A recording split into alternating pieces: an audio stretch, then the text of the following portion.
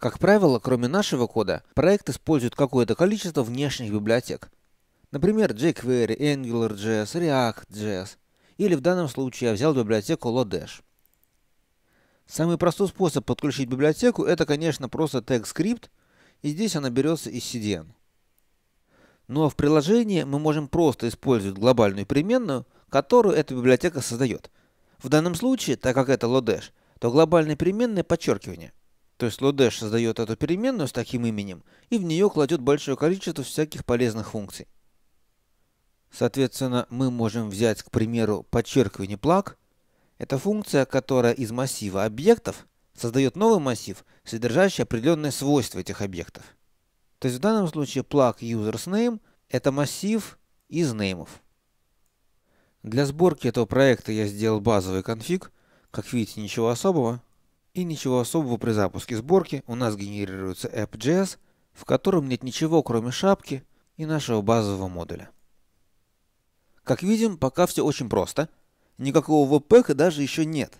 Единственное, может уже возникнуть некоторая сложность, если наш или какой-то другой сторонний модуль захотят прорекварить Lodash. То есть, если есть sled подчеркивание равно require Lodash, то сборка уже не сработает. Webpack. О, ошибка. Оно не может найти модуль Lodash.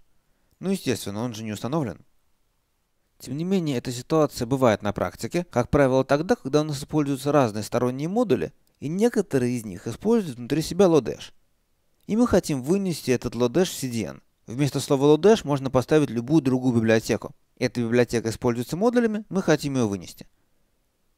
Для того, чтобы такой require работал, несмотря на то, что библиотека в CDN, мы должны в wp-config прописать externals. Externals – это объект, в котором ключами служит название модулей, в данном случае Lodash, а значениями служат глобальные переменные, в данном случае подчеркивание. Если мы require'им Lodash, то external сделает так, что вместо Lodash будет вот такая глобальная переменная. Перезапускаю сборку. И вот что у нас получилось. app.js, обычная шапка, и под ней обратим внимание, забавная штука, видите подчеркивание? Подчеркивание теперь веб-пэковский модуль. Модуль с гордым айдишником 1. Этот модуль выглядит так. Модуль express равно подчеркивание. То есть в качестве результата require lodash будет подставлено подчеркивание глобальная переменная, которая создается CDN библиотекой. Таким образом, CDN библиотека отлично интегрируется в нашу сборку.